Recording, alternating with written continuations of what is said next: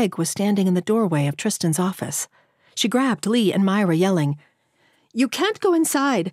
The window has shattered, and a whirlwind has blown in. Peering over Peg's shoulder, Leigh saw a tempest raging in the office. Papers were flying madly. Heavy books were being blown off shelves. Pens and knickknacks sailed through the air.